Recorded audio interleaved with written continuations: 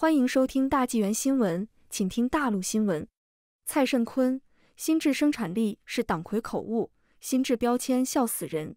中共党魁在两会上强调心智生产力后，中国社科院日前刊文吹捧。知名独立评论人士蔡胜坤发帖文嘲讽：“看来什么玩意儿都要贴上心智标签了，笑死人。”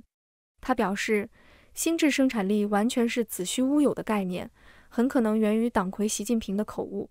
本周稍早，中国社科院官网刊登天津师范大学政治与行政学院陈桂生、张艺轩的文章，吹捧中共体制，吹嘘中共的所谓全过程民主塑造新时代民主之治，提供民主新样态之见。知名独立评论人士蔡胜坤三月十六日在 X 平台发帖文嘲讽道：“吹嘘中共的全过程民主是所谓的新质民主，看来什么玩意儿都要贴上新智标签了。按照这个趋势。”很快就会有心智文化、心智社区、心智学校、心智医院、心智家庭结构、心智邻里关系、心智医患关系以及心智夫妻关系等等，笑死人啦！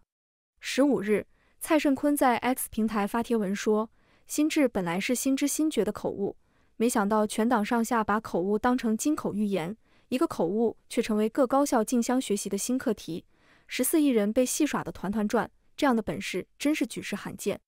所谓的心智生产力，完全是子虚乌有的概念。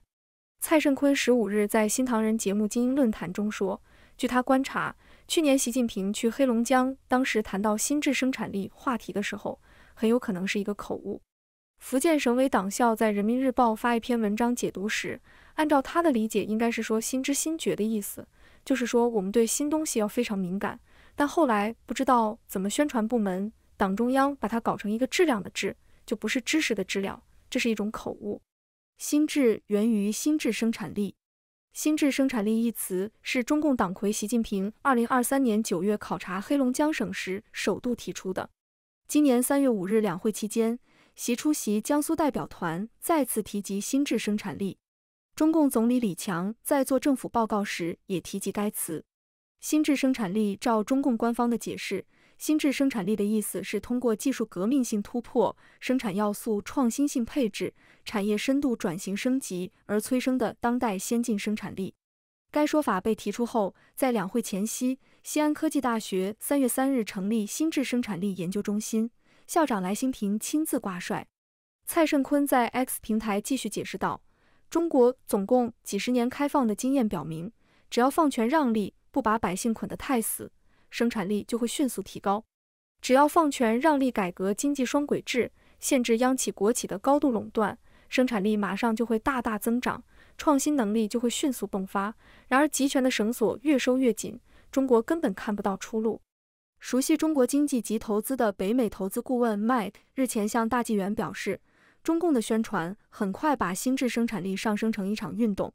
根据中共对心智生产力的定义来看，完全是改变科技工业的一场革命，这连欧美联手也不一定有这样的实力。继芯片大跃进后，另一场蛮干很快将在中国上演。心智生产力将成中共各级官员贪腐的新招牌，其结局也会是烂尾。有“百草之王”美誉的人参，被视为长生不老的上等补品。